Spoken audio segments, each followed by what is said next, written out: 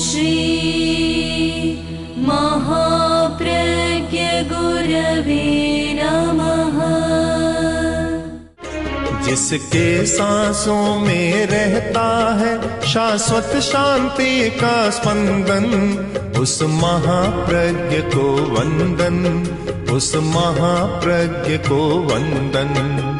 सत्य अहिंसा अनेकांत को अर्पित जिसका तन मन उस महाप्रज्ञ को वंदन, उस महाप्रज्ञ को वंदन, जिसके सांसों में रहता है शाश्वत शांति का स्पंदन, उस महाप्रज्ञ को वंदन, उस महाप्रज्ञ को वंदन।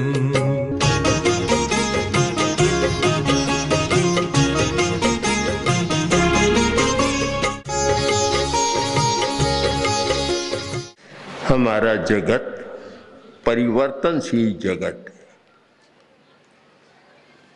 सब कुछ बदलता है। अवस्थाएँ भी बदलती है। मानसिकता भी बदलती है। परिस्थितियाँ भी बदलती हैं। यदि कोई मनुष्य यह मानकर चले कि मैं तो हूँ वैसा ही रहूँगा।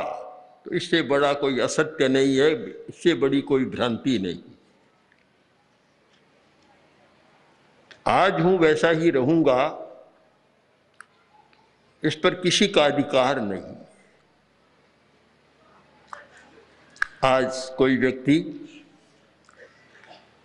25 वर्ष का है और वह सोचे कि मैं हूँ वैसा रहूँगा जब 60-70 का बनेगा, तब देखेगा कि एक एक सीढ़ी ठहर ठहर कर उतरना है। हाथ में गेड़िया भी चाहिए।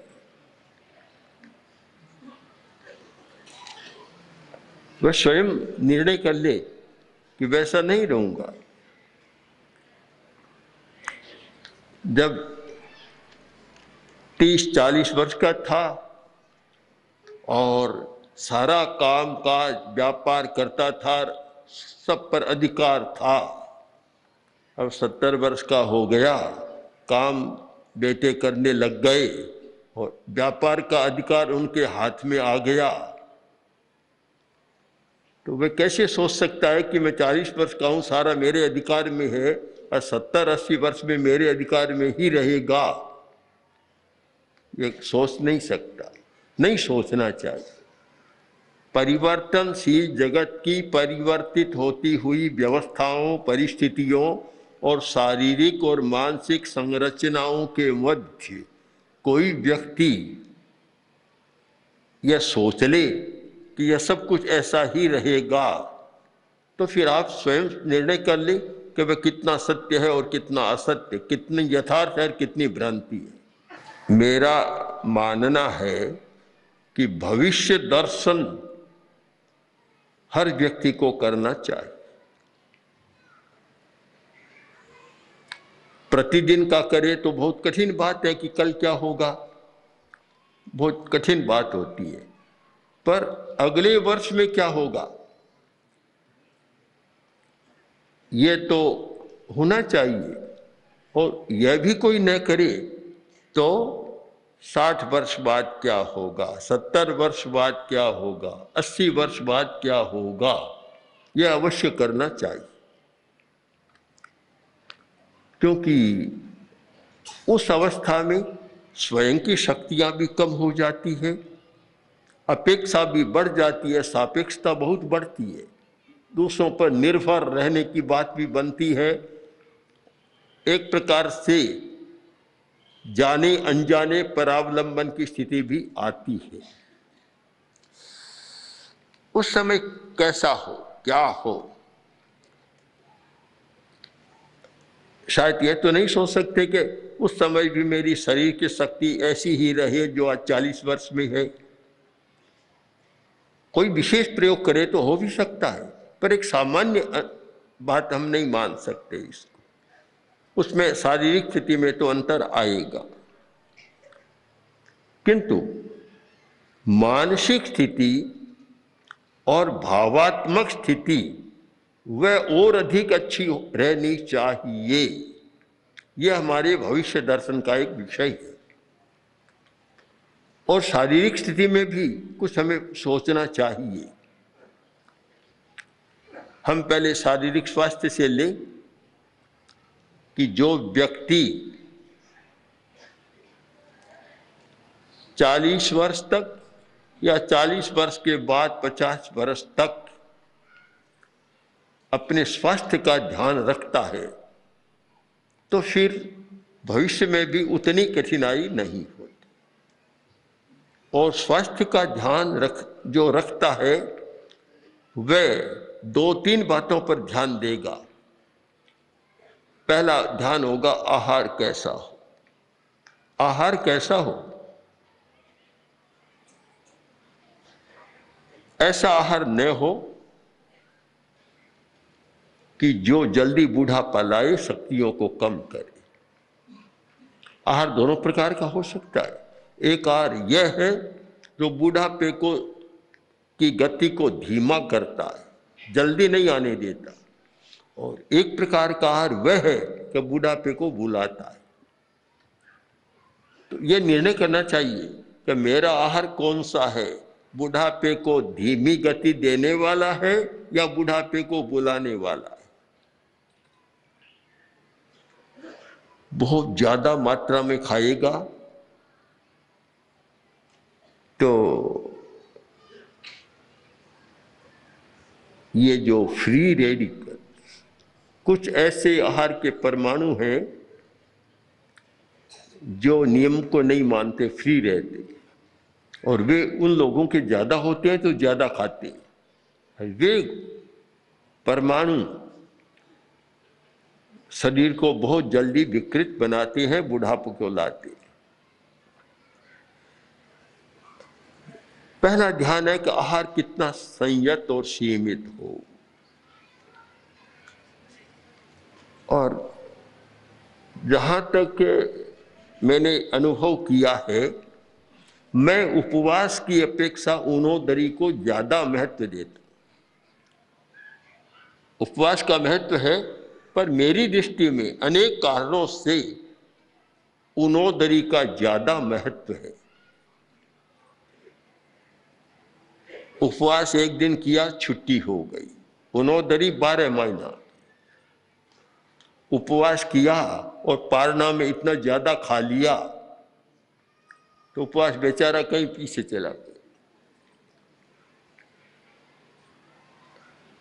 उनोदरी है, वह बारह मासिक है। उपवास बारह मासिक नहीं हो सकता। चाहे तो कोई एकासन करे, चाहे उपवास करे। सबको ध्यान देना है, एकासन करे और उसमें भी इतना खाए। कि दो तीन बार कसर एक बार में पूरी हो जाए। तो यह तो एकासन क्या बीमार होने का एक तरीका हो गया। उनोदरी यह इतना बढ़िया एक तत्व है कि इससे स्वास्थ्य भी अच्छा रहता है, मन भी प्रसन्न रहता है और साथ में संयम सदता है। उपवास में संयम नहीं सदता। क्योंकि नहीं खाना है, बस नहीं खाना है, त्याग कर लिया खाने का। खाने के लिए बैठे और न खाए, वह संयम की कसौटी होती है। बहुत कठिन काम है। इसलिए बहुत लोग कहते हैं कि आहार का संयम नहीं, हमें तो उपवास करा दो। अपनी कमज़ोरी प्रकट कर देते हैं। तो ऊनोदरी ये अस्सी वर्ष तक भी शक्तियों को क्षीण नहीं होने देती। और जो बहुत खाएगा, वह अस्सी तो दूर की बात है, साथ में भी कमज़ोर बन जाएगा। तो पहला जो संयम है, नियंत्रण है, वह है कि उनोदरी का अभ्यास रहे तो फिर 80 वर्ष सामने के 80 वर्ष तक मैं जाऊँगा या जाऊँगी तो कोई चिंता की बात नहीं है। मेरी शक्तियाँ काम करती रही। तो उस अवस्था के लिए एक प्रारंभ से ही अच्छा संकल्प, जब से समझ पकड़े तब से एक संकल्प कि ऊनोदरी का अभ्यास करना है। आयुर्वेद का सिद्धांत सब लोग जानते हैं, प्रसिद्ध है। ऊनोदरी और आयुर्वेद का जो आहार का विवेक एक ही बात उस ऊनोदरी की अच्छी व्याख्या हो जाती है कि जितनी भूख है, उससे आधा खाओ, पचास प्रतिशत खाओ। ऊनोदरी का बहुत सुंदर प्रयोग है। पचास प्रतिशत खाओ। तो कारण इसका एक वैज्ञानिक व्याख्या है। कारण कि खाने के बाद वायु बनेगी। पेट भरकर पूरा खा लिया तो फिर वायु को अवकाश नहीं। तब कहते हैं कि पेट फटता है, आंतें फट रही है, अफ, अफारा आ रहा है। ये सारी बातें फिर सामने आती और 25 प्रतिशत पानी पियोगे तब पेट फूलेगा। तो 25 प्रतिशत तो पानी के लिए 25 प्रतिशत जो हवा बनती है, गैस बनती है वायु, उसके लिए और 50 प्रतिशत भोजन। ये एक संतुलन है, सामंजस्य है, ऐसा है तो शायद बहुत सारी बीमारियाँ दूर रहेगी। न पेट फटेगा, न कोई अफारा होगा और न और कोई समस्या होगी। ये उनोदरी की व्याख्या है। उनोदरी किसको माने? कि आधा खाए। सामान्य भाषा में तो ये कहते हैं, दो कोआ कम खाओ। अब दो कोआ कम खाने से तो क्या होगा? दस कोवा कम खाओ, दस कोर कम खाओ, तब काम बनेगा तो ये उनोदरी की अच्छी व्याख्या है कि 50 प्रतिशत खाओ, आधा खाओ, आधे भूखे रहो, और भूखे इसलिए रहो, एक बार लगेगा भूख है, जैसे ही वायु बनेगी, पानी पियोगे, एकदम लगेगा पूरा भोजन हो गया। स्वयं अनुभव कर सकते। पहला जो विवेक, पहली जागरूकता, वह यह है कि अगर मुझे 80 वर्ष तक जीना है और स्वस्थ होकर जीना है तो पहला उसका व्रत संकल्प होगा ऊनोदरी का अभ्यास। दूसरी बात, का श्रम निष्ठा श्रम निष्ठा जिस व्यक्ति में श्रम निष्ठा है, वह स्वस्थ रहेगा, शरीर से भी मन से भी। श्रम करने से जी चुराता है। बहुत बड़ी समस्या है। संस्कृत साहित्य में एक वाक्य आता है आलस्यम परमो शरीरस्थो महारी आलस्य है, वह शरीर के भीतर रहा हुआ महाशत्रु है। बहुत छोटा सा, सामान्य, साधारण वाक्य लगता है। मैंने इस पर जब अनुप्रेक्षा की, चिंतन किया तो लगा बहुत गंभीर वाक्य है ये। जो व्यक्ति आलसी है, श्रम नहीं करता, वह शरीर के प्रति उदासीन है, स्वास्थ्य के प्रति उदासीन है। श्रम किए बिना कोई भी शरीर का अवयव स्वस्थ नहीं रह सकता। सबको प्राणवायु की ज़रूरत है, ऑक्सीजन की ज़रूरत है, और अच्छी रक्त संचार प्रणाली की ज़रूरत है। श्रम के बिना ये सारी बातें नहीं होती। हृदय को श्रम बहुत प्रिय जो श्रम करता है, हृदय उसका अच्छा रहता है। हार्ट की क्रिया ठीक होती है। लीवर की क्रिया ठीक होती है सबकी क्रिया ठीक होती है, सबको श्रम की ज़रूरत है। लोग कहते हैं कि जब तक घर में गट्टी चलती थी, स्त्रियाँ बीमार कम होती थी। अब गट्टी चलाना बंद कर दिया, आटा पीसना बंद कर दिया और बिजली की चक्की में आटा पिसाना शुरू कर दिया तो एक काम तो यह हुआ कि उसका सत्व नष्ट होने लग गया। आटे में प्राण तत्व है चोकर चोकर। अब चोकर तो सारा निकल जाता है, पीछे तो कोरा नीरस भाग रहता है। जो व्यक्ति चोकर का भोजन करता है, चोकर बिना का भोजन करता है वह स्पष्ट निर्णय कर सकता है कि दोनों में कितना अंतर है। दिन रात का अंतर होता है। पर वह नहीं होता। एक तो यह हो गया, फिर पानी लाना आदि श्रम बहुत करती थी महिलाएँ तो शायद कम दवा लेती थी। आज श्रम कम हो गया। कुछ तो बड़प्पन के कारण हो गया कि बड़ा आदमी काम कैसे करे। हो सकता है कि सवणियों में भी आ जाए कि हम बड़ी हो गई हम श्रम कैसे करें अच्छा नहीं लगेगा। छोटी सवणियाँ क्या समझेगी? ये उल्टी अवधारणा हो गई कि श्रम श्रम निष्ठा श्रम निष्ठा को हम व्यावहारिक रूप में इतना माने कि एक व्यक्ति के लिए प्रतिदिन कम से कम चार पाँच किलोमीटर जितना घूमना ज़रूरी अगर आठ नौ करे तो बहुत अच्छी बात है। स्वास्थ्य के लिए आठ किलोमीटर, नौ किलोमीटर रोज घूमे। इतना न हो सके तो चार पाँच तो होना ही चाहिए।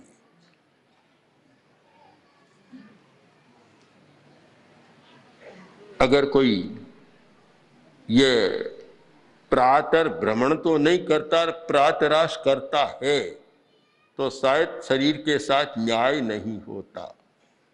शरीर स्वयं कहेगा, तुम भूल कर रहे हो। प्रातर भ्रमण तो किया नहीं, प्रातरास यानी नाश्ता कर रहे हो। ये तो भूल हो रही है। दूसरा विकल्प है कि कोई इतना न घूम सके या अवकाश न मिले तो उसकी पूर्ति आसन प्राणायाम के द्वारा की जाए। आसन प्राणायाम। 20 मिनट 25 मिनट, आधा घंटा आसन प्राणायाम में लगाए तो फिर वह श्रम की पूर्ति हो जाती है। और सब अवयवों को अपना पोषण मिल जाता है। पोषण, जिस बच्चे को पोषण नहीं मिलता, वह बच्चा पनपता नहीं है। जिस शिष्य को गुरु का पोषण नहीं मिलता, वह शिष्य भी पनपता नहीं है। तो हम ये कह सकते हैं कि जिस अवयव को श्रम का पोषण नहीं मिलता, वह अवयव भी पनपता नहीं। नहीं पनपता वह अवयव।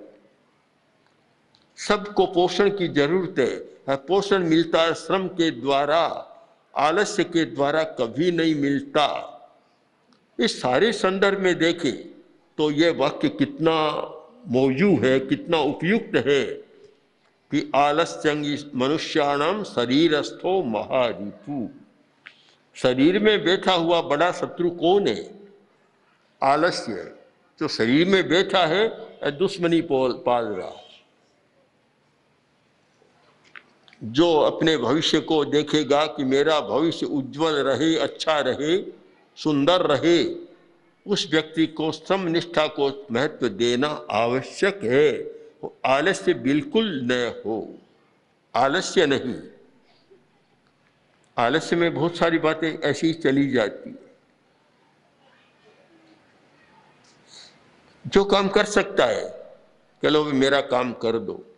कर सकता है, वह दूसरे से क्यों कराए? नहीं कर सकता है तो सहयोग लिया जा सकता है। जो काम स्वयं कर सकता है, वह दूसरे से क्यों? आलसी आदमी पेड़ के नीचे पड़ा था। और उधर कोई जा रहा था आदमी उसने बुलाया। बुलाकर कहा कि देखो, ये जामुन का फल है, जामुन है, पास में पड़ा है, मुझे हाथ में दे दो, जिससे मैं इसको खा लूँ। उसने कहा, भले आदमी, तुम स्वयं कर सकते हो, मुझे बुलाया, मुझे खोटी कर हो। क्या नहीं, कृपा करें, मैं नहीं कर सकता। भला आदमी था, दे दिया। हाथ में जामुन नीचे पड़ा था, दे दिया उठाकर। जाने लगा अरे, अभी कहाँ जा रहे हो? क्या जामुन दे दिया? नहीं नहीं, मेरे मुँह से गुठली कौन निकालेगी। अभी कहाँ जा रहे हो? इस प्रकार की जो एक आलसी मनोवृत्ति होती है, कि जहाँ अपने शरीर के अवयों का भी उपयोग नहीं करता, कोई काम नहीं करता।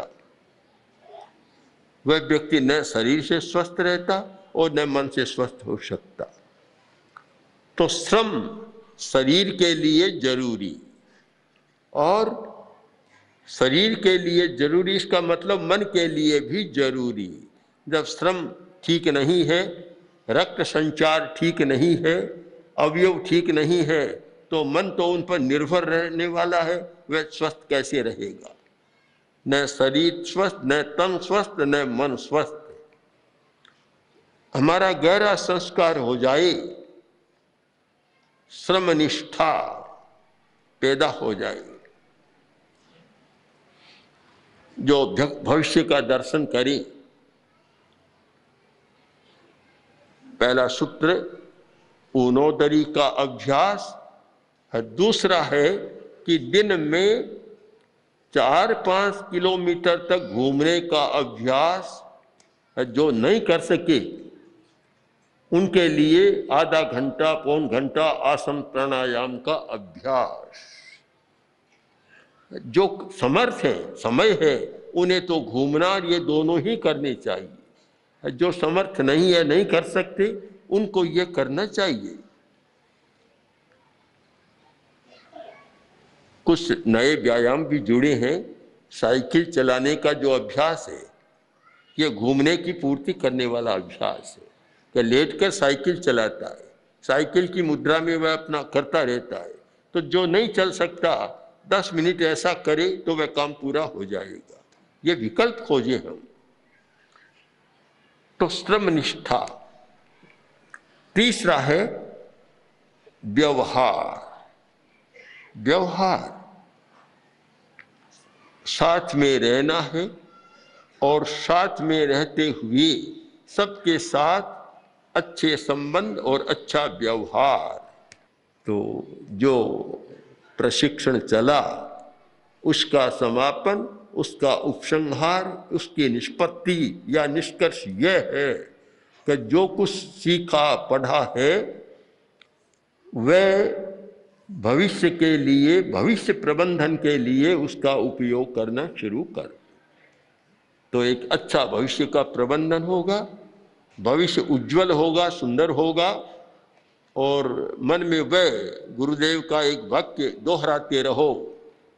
संघ के लिए कहा था गुरुदेव ने, पर हर व्यक्ति का भी अधिकार है, हर व्यक्ति दोहरा सकता है कि शुभ भविष्य है सामने, मेरे सामने शुभ भविष्य है। हम तो उपयोग कर सकते हैं उस वाक्य का, बहुत अच्छा कर सकते हैं कि मेरे सामने शुभ भविष्य है, इसका उपयोग करो, और उपयोग के लिए जो करणीय वह कार्य करो तो मैं मानता हूँ कि ये जो एक बड़ा अनुष्ठान हुआ है, उसका बहुत फल मिलेगा और जो कार्यकर्ता है, प्रवचनकार है, व्याख्याकार है, समाधान कार्य कराने वाले हैं, उनका भविष्य, दूसरों के भविष्य का, उज्जवल भविष्य का भी हेतु बनेगा। इसलिए यह समायोजन, संपन्नता के साथ इसकी संपन्नता के साथ एक संकल्प लेना है। और संकल्प यह है कि शुभ भविष्य, मेरे सामने शुभ भविष्य और मैं शुभ भविष्य के लिए जो चतुसूत्री कार्यक्रम प्रस्तुत किया गया अभी, चार सूत्रों की व्याख्या की गई। ऊनोदरी का अभ्यास, पहला, उनोदरी का अभ्यास और श्रम निष्ठा सेवा सहयोग, सापेक्षता और एकत्वानुभूति। बस ये सामने रहे तो शुभ भविष्य में कोई संदेह नहीं करें और वह इसको दोहरा सकता है कि शुभ भविष्य है सामने। हम शुभ भविष्य की कल्पना करें धर्म संघ का शुभ भविष्य और साथ में धर्म संघ के सदस्यों का जो धर्म संघ के लिए अपनी सेवाएँ जीवन लगा रहे हैं, उनका भी शुभ भविष्य और शुभ भविष्य के लिए हमारे संकल्पों का विकास। ओम। ओम श्री महाप्रज्ञ गुरवे नमः। गुरवे श्री महाप्रज्ञ गुरवे नमः।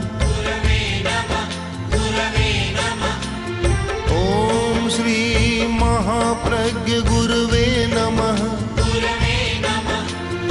ॐ श्री महाप्रज्ञ गुरुवे नमः।